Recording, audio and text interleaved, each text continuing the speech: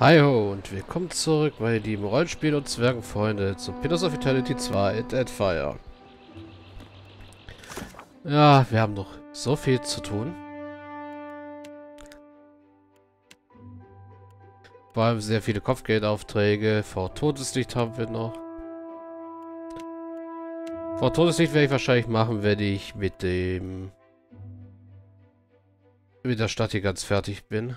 Also wenn ich die Graberstraße gefunden habe und die Grabrede für die Toten noch gemacht habe.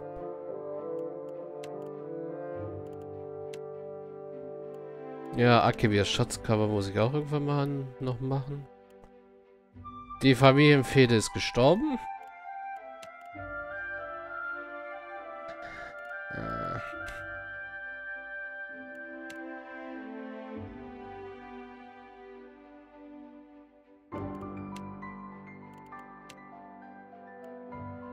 Ja, warte, bis die Besäder mit der Maschine fertig sind. Hm? Gut, das heißt, wir gehen jetzt direkt wieder zurück in den Schlund.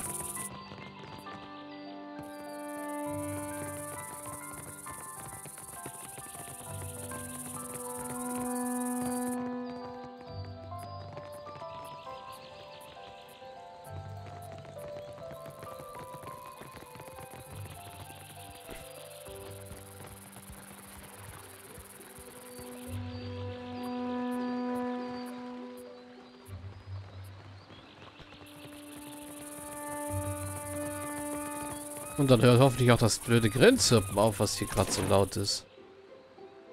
Au, das war ja schrecklich. Das hatte ich noch nicht so laut bemerkt.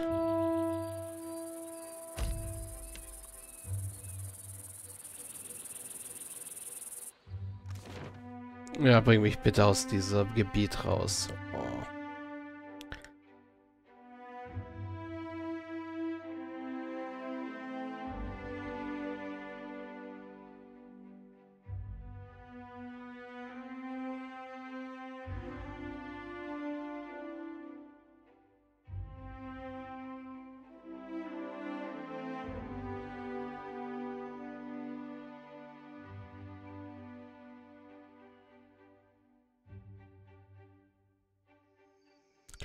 So, jetzt sind wir wieder im Schlund.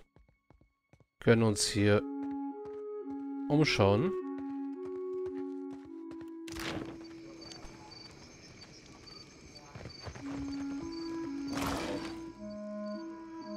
Federblatt, Spitzenschwamm und Schlacke als Zutaten einsacken. The Queen calls these rations. Does she expect the Reparu to subsist on garbage? Die Königin das Ration. Erwartet sie, dass sich die Ruparo von Abfall ernähren? Ja, die Ruparo sind die niedrigste soziale Kasse.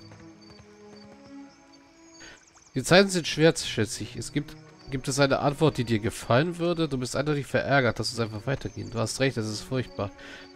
Nehmen wir mal so zynisch wie Hagrim ist die zwei. Ekera, die gibt es nicht. Dekio schluckt und richtet seinen Blick vom Haufen weg. Ja.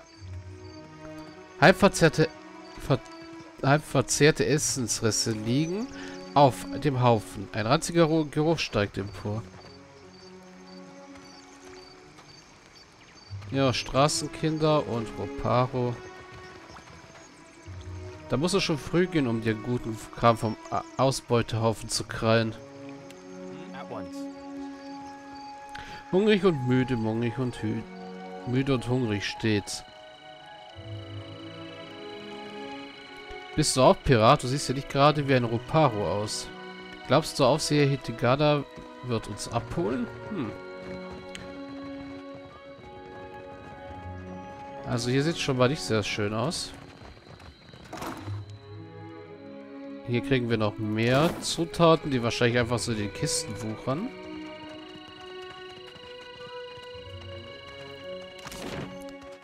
Das ist die Enge. Das ist wahrscheinlich hier die unterste Gasse. That Dawnstar may be able to help. What say? Help how? Poison me? Akira, no thanks. Dieser Dämmerstern könnte dir vielleicht helfen. Was sagst du? Und wie willst du mir helfen? Indem du mich vergiftest? Der Kira, nein, danke. Haben die uns was zu sagen? Ondras Segen, ja. Ondra sei mit dir. Gut, mehr haben sie nicht. Also, was stand hier? Süßer Weihrauch verbirgt den Geruch der Opfergaben. Verrottetes Obst und vergammelter Fisch. Hm.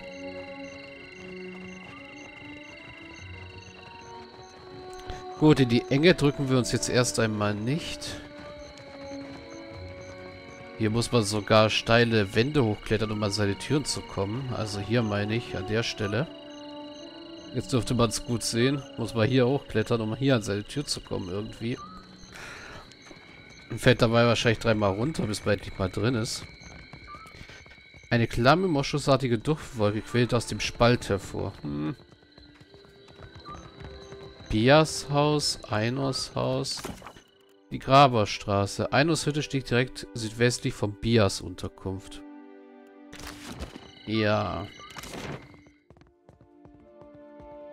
Höhlenbehausung, Tellis Haus. Das heißt, wir gehen erstmal hier unten lang. Wir hätten da unten... Okay, gehen wir erstmal zurück. Wir können ja hier Treppen nehmen. Die habe ich irgendwie übersehen gehabt hier. Sind sogar mit Fackeln gekennzeichnet.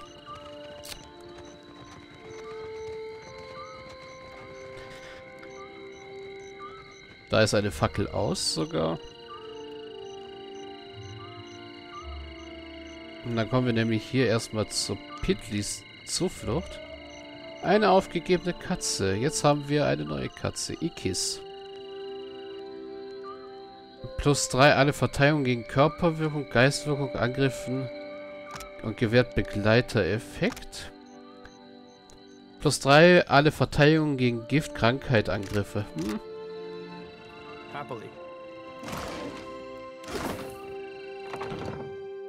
Gucken wir erstmal bei Pitli rein. Wir machen jetzt hier einen auf freundlicher Sheriff, der von Haus zu Haus geht und alle ausquetscht. Das ist Pitli, ja. Die Flaschen sind leer, man sieht nur noch die Überreste verbrauchter Medizin. Mhm. Die Frau beugt sich über einen Haufen getrockneter, bitterriechender Kräuter. Sie zerkleinert und zermalt sie auf dem schmutzigen Stück Pergament und hustet dabei vor Anstellung. Sie dreht vor dich, um deinen Weg zu blockieren und wischt sich mit einem zerrupften Ärmel über ihre schlemmverklebten, blutunterlaufenden Augen. Paintley? Good God, I nearly didn't recognize you. You look more death-warmed over than Dawnstar. Pitley, gütiger Gaun, ich habe dich fast nicht erkannt. Du siehst vom Tod ausgespuckter und aufgewärmter aus als Dämmerstern. Ja, das habe ich mir gleich gedacht, den Roben zu urteilen, dass hier ein Dämmerstern ist. Didn't see there, Shody. Listen, you and your friends should move along.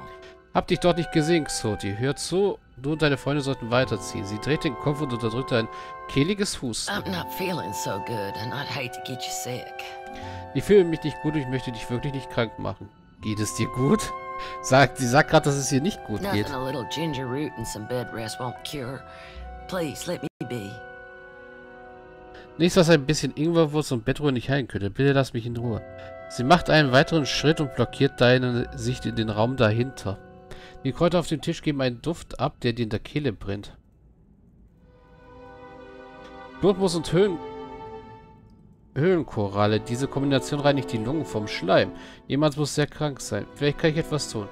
Weggehen, geh mir aus dem Weg. Nun gut. Nehmen wir mal die Eins.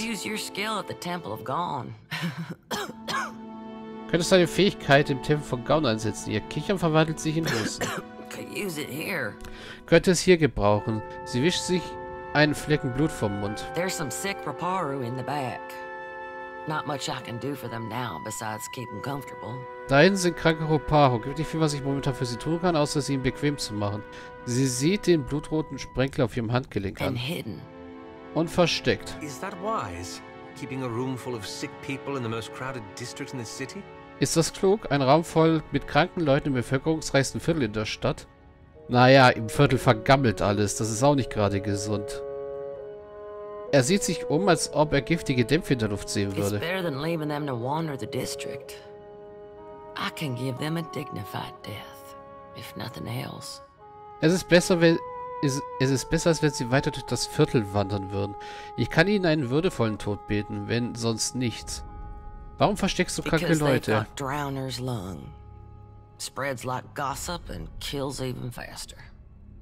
Weil sie an ertrunkenen Lunge leiden.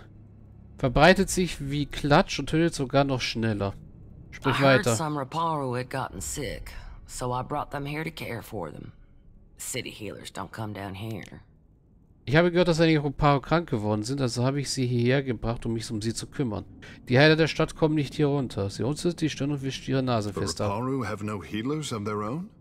Die Roparo verfügen nicht über eigene Heiler. Mit gerunzelter Stirn zieht Tikeo an einem seiner langen Haare. Sie schüttelt den Kopf. These people are laborers and fishers. Many aren't even Kahanga. Wound up here after raiders and slavers tore their own tribes apart. Diese Leute sind Arbeiter und Fischer. Viele nur sind noch nicht mal Kahanga. Sie sind hier gestrandet, nachdem Plünderer und Sklavenhändler ihre eigenen Stämme auseinandergerissen haben. Sie dreht sich wieder di zu dir um. Anyway, I realized what was wrong when I heard the rattle in their chests. The way they gasped for air. Hab bemerkt, was los war, als ich das Rasseln in ihrer Brust gehört habe. Die Art, wie sie nach Luft schnappten. Sie wischt ihren Handrücken an ihrem Bein ab und zittert. Only cure is an elixir made with pine seed oil. It costs a lot, though not nearly as much as an epidemic. Das einzige Heilmittel ist ein Elixier aus Kiefersamenöl, her das mit Kiefersamenöl hergestellt wurde. Es kostet viel, aber nicht so viel wie eine Epidemie. Still, if news of this outbreak gets out, these poor souls will get tossed into the old city. No one with any money in Nekataka spends it on the Raparu. Immerhin, wenn sich die Neuigkeiten über diesen Ausbruch verbreiten, werden diese armen Seelen bald in die Altstadt geworfen werden. Niemand in Dekataka, Dekataka mit Geld gibt es für die Roparo aus. Verstehe, gibt es eine Möglichkeit, an ein Heilmittel zu kommen. Es ist freundlich von dir, ihnen zu helfen. Ich wünschte, ich könnte etwas tun. Dafür gibt es einen guten Grund. Wenn die Krankheit sich ausbreitet, könnte sie weitaus mehr töten. Du hättest mich warnen sollen. Ich hoffe, sie buchten dich ein... Ich hoffte, sie buchten dich ein wegen Verbreitung einer Seuche, du Idioten. Nein. Nehmen wir mal rational die drei. And if the other castes took care of the Raparu, they wouldn't get sick like this. Anyway, there's a cure. Und wenn die anderen Kassen sich um die Roparo kümmerten, würden sie nicht so krank werden. Egal, es gibt ein Heilmittel. Ihre matten Augen glänzen. You can get nearly anything on Delver's Row. Only trouble is finding it. And paying for it. Du kannst fast alles auf der Graberstraße bekommen. Die Schwierigkeit besteht darin, es zu finden und dafür zu bezahlen. Unfortunately, the children of the Dawn Stars don't have many connections in this part of town. Leider haben die Kinder der Dämmerungsstern in diesem Teil der Stadt kaum Beziehungen. Sie melden sich ab, während sie in ihre Armbeuge hustet und keucht. Not meaning any offense, just that you seem like someone who's comfortable on that side of town. Aber du könntest es. Ich will dich nicht beleidigen, aber du scheinst jemand zu sein, der sich auf jeder Seite der Stadt wohlfühlt. If not, I bet you could find someone at the tavern who knows where Delver's Row is. Sie zuckt mit den Schultern. Falls nicht, wette ich, dass jemand in der Taverne finden könnte. Dass du jemanden in der Taverne finden könntest, der weiß, wo die Graberstraße ist. Criminal types like to wet their throats after a long day of lying, cheating, and stealing. Kriminelle Typen möchten nach einem langen Tag voll Lügen, Betrügen und Stehlen gern ihre Kehlen benetzen. Sie kichert so lange, bis sie von einem weiteren Hustenanfall geschüttelt wird. Welches Interesse haben die Kinder des Dämmerungssterns am Schlund? About the only honest one. The Raparu here are treated like garbage. Even made to eat garbage from that scrap heap opposite the lift. So ziemlich das einzig Ehrliche. Die Roparu hier werden wie Abfall behandelt. Man singt sie sogar dazu, Abfall von dieser Heide gegenüber dem Aufzug zu essen. Sie schüttelt den Kopf. And Dario and his Principe scum took advantage of the neglect down here to set up the black market on Delver's Row. Und Tereho und sein Prinzipi-Abschaum haben die verwahrlosen Kyoten ausgenutzt, um in der Kramerstraße den Schwarzmarkt zu, zu eröffnen. Here. Er ist der Anführer bei den meisten kriminellen Machenschaften, die hier unten geschehen. Some say he's an old Valian traditionalist. Some say he's a thug with good taste. Einige sagen, er wäre ein alter valianischer Traditionalist. Einige sagen, er sei ein Schläger mit gutem Geschmack. Sie steckt ihre Hände aus und bewegt ihre offene Handfläche wie Plattformen auf einer Waage. Either way, I steer clear of him. Wie auch immer, ich halte mich von ihm fern. Sie zittert. Du kannst jedoch nicht sagen, ob aus Furcht oder Krankheit. Sprich weiter. All the while, the gullet gets more crowded as tribes from the other islands come to Nekataka. Währenddessen bevölkert sich der Schlund immer mehr, während Stämme von den anderen Inseln nach Nekataka kommen. Some are driven from their homes by pirates, raiders, even trading company thugs. Einige werden von Piraten, Plünderern, sogar Schlägern aus Handelsgesellschaften aus ihrem Zuhause vertrieben. Ihre Augen verdunkeln sich. Others hear stories of the foreign wealth pouring into the city. What they don't realize is most of it flows between the foreigners and the palace. Andere hören Geschichten über den fremden Wohlstand, der sich über die Stadt ergießt. Was sie nicht bedenken, ist die Tatsache, dass dies, das meiste zwischen den Fremden und dem Palast fließt. Sie macht mit ihren Fingern eine kreisrunde Bewegung. Die Dämmerungssterne springen also ein. As best we can. Most of us came from Rayed Saris after the Vorless Plot and the Saints War. Or we were born to families that did.